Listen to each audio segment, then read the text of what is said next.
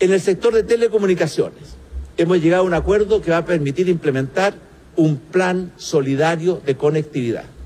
absolutamente gratis, durante los próximos 60 días, para los clientes actuales pertenecientes al 40% de los hogares más vulnerables. Este plan solidario de conectividad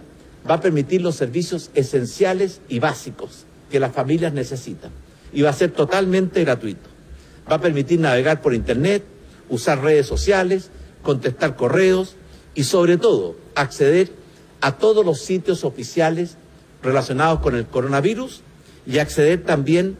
a la plataforma que ha puesto a disposición de todos los estudiantes chilenos el Ministerio de Educación, que se llama aprendoenlinea.mineduc.cl, que va a permitir que la suspensión de clases no signifique suspensión del proceso de educación y enseñanza.